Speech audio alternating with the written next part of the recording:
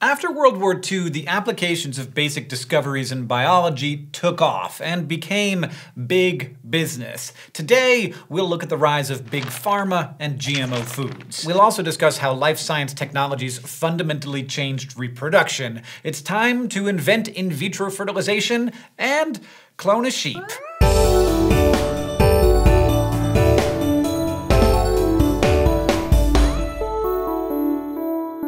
When we last left medicine and the brain sciences, one had antibiotics and the other had talk therapy, which were major developments, but many disorders still lacked effective treatments. That changed during the Cold War. Brain science took off, and several researchers found, starting with animal models, that treating brains with different chemicals could affect mood and behavior. One of the first blockbuster brain drugs was a compound called chlorpromazine, better known by the brand name Thorazine. Approved for psychiatric use by the US Food and Drug Administration Administration in 1954, Thorazine is an antipsychotic. It reduced the need for electroconvulsive treatment, more patients returned to their families, and it's still used today. Another early blockbuster was meprobamate, the first of the minor tranquilizers, nowadays called anti-anxiety medications. Different companies marketed different versions of meprobamate, the biggest of which was Miltown. Miltown became the best-selling drug in the US. Some historians estimate that 5% of all Americans were on Miltown by the late 1950s.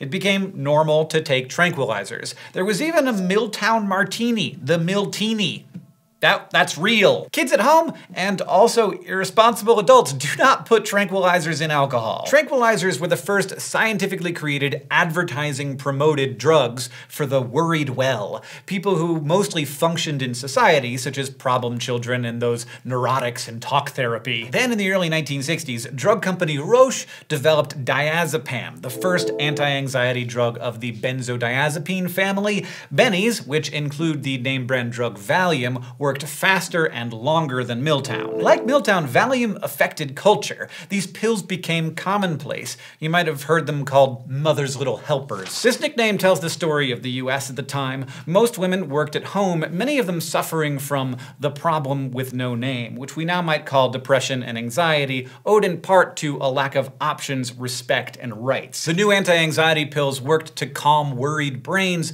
but they didn't change a patriarchal culture. More openly debated at the time was the first drug to treat mood disorders, such as bipolar disorder, lithium. Starting around 1950, some psychiatrists called for the naturally occurring element lithium to be used prophylactically as a mood stabilizer, that is, to prevent a mood disorder. Lithium can cause serious side effects, however, that make patients feel sluggish and out of it. Stable, but not exactly great, depending on the dose. So the FDA only approved lithium for prophylactic use in 1974. Drugs for major depressive disorder were also controversial controversial. In the 1960s, psychiatrist Joseph Schildkraut put forward the chemical imbalance theory. Basically, since antidepressants seem to work by elevating levels of norepinephrine and serotonin, depression may be caused by a lack of these critical neurotransmitters. This theory is widely talked about, but it's never been proven.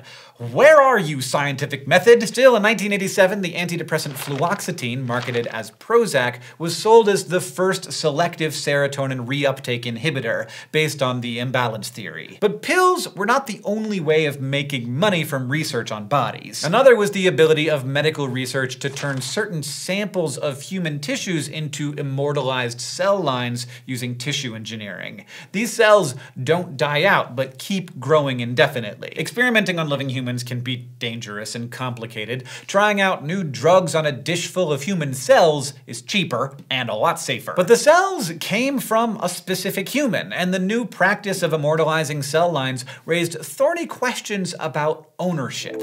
Help us out, Thought Bubble. The very first human cell line to be immortalized has been experimented upon on every continent and in outer space, helping thousands of researchers develop new therapies. And it came from someone who did didn't give consent and received no reward. Henrietta Lacks was an African-American housewife in Baltimore who showed up at Johns Hopkins in 1951 complaining of abdominal abdominal pain. She was diagnosed with advanced cervical cancer. As he'd done with hundreds of incurable cancer patients before, cell biologist George Gey took a biopsy or tissue sample and tried to keep it alive, giving it the kind of nutrients it would get from the body, but in a machine he'd designed called a roller drum. Lacks's tumor cells could just keep growing generation after generation of cell. His idea was that since cancer cells divide aggressively and don't rely on a plan from the body, they might be easier to keep alive forever outside of one. Gey had tried and failed many, many times before, so he was surprised when Lacks's cells seemed to happily divide and divide, never dying out.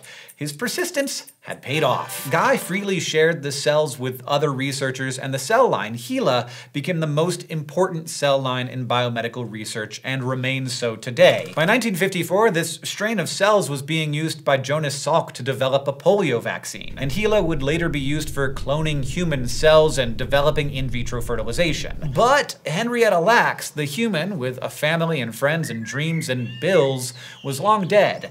She had never consented to having her cells used for research. Her family was not aware of HeLa's existence until 1975, and they didn't receive any compensation. Thanks, Thought Bubble. As historian Hannah Landecker explains, HeLa is a particularly loaded technology. To Gey and many scientists, it was clearly a gift to science. To the Lacks family, the cell line clearly represented the historical and continuing oppression of black women, black body parts used by white people to make knowledge and in the process make money.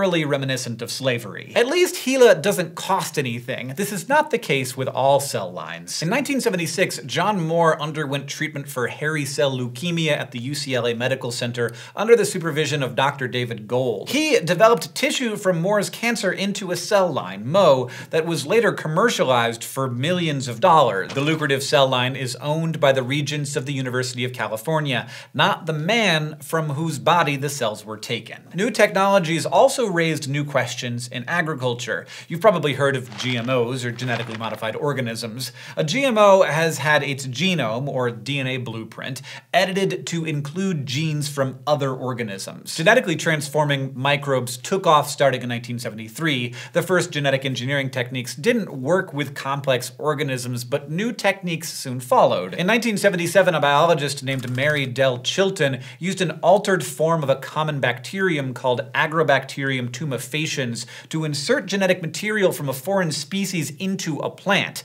Agrobacterium works by forming a plant tumor called a gall on the roots of the plant. Chilton's breakthrough was followed by similar work in Belgium, but she became and remains the queen of agrobacterium. In the 1980s, chemical companies used her work to develop GMO crops. In 1983, John Sanford and Edward Wolf invented a mechanical means of genetically transforming plants at Cornell, the gene gun. This was also used to make GMOs. The first approved GMO was a pest-resistant tobacco in China in 1992. That same year, the US approved the first GMO to eat, a bruising-resistant tomato, the Flavr Savr, marketed under the farmy-sounding name MacGregor's. These tomatoes contained a gene that turned off the enzyme that breaks down pectin. This kept them from going soft on long truck rides from Mexico. In the 1990s, a company developed the super fast-growing Aqua Advantage salmon, the first GM animal for food. Canada approved it, and the FDA ruled the salmon safe in 2015. But the next year, they postponed AquAdvantage's release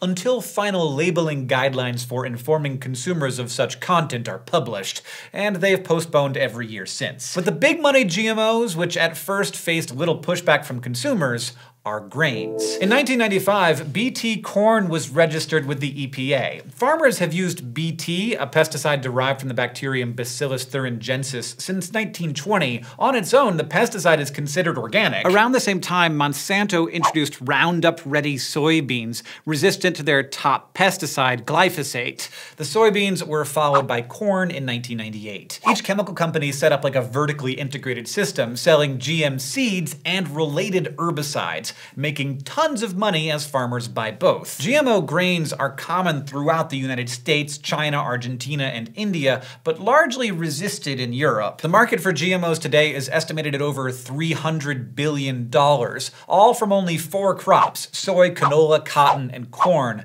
modified with only two properties herbicide tolerance and insecticidal action, or both. None of these things make foods more nutritious or better tasting. These properties are all about yields for grains that are fed to animals or used as ingredients. So much of the recent controversy about GMOs isn't really about the technology changing plant genomes, but the why behind these changes. Other advances in genetics technologies were more readily accepted. Assisted reproductive technology, for example. In 1978 in England, Louise Brown became the first baby born using in vitro fertilization, or IVF. In vitro means in glass. Babies conceived in dishes instead of wombs. Basically, IVF and similar techniques involve isolating gametes or sex cells and moving them around in labs. Egg donation became possible soon after in the 1980s. Today, IVF, the donation of gametes and other forms of assisted reproductive technology, are widely accepted and used. But these technologies are often expensive, so not everyone has equal access to them. Meanwhile, in agriculture, other cell biologists pushed new reproductive technologies. Dolly the sheep was born in 1996, the first animal created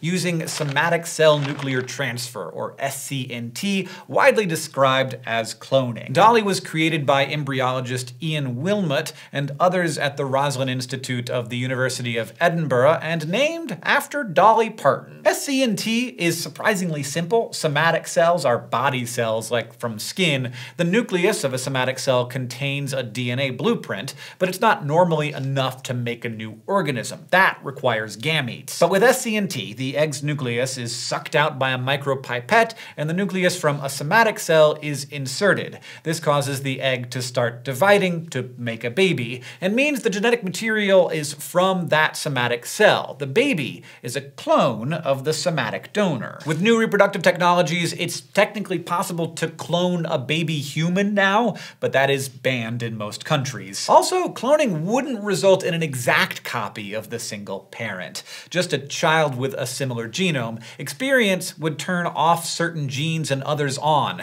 This is called epigenetics. And environmental stimuli matter more than genes in many cases. Breathing in polluted air, for example, is bad no matter how good the genes related to your lungs are. Next time, we'll introduce the life sciences equivalent of the atomic bomb.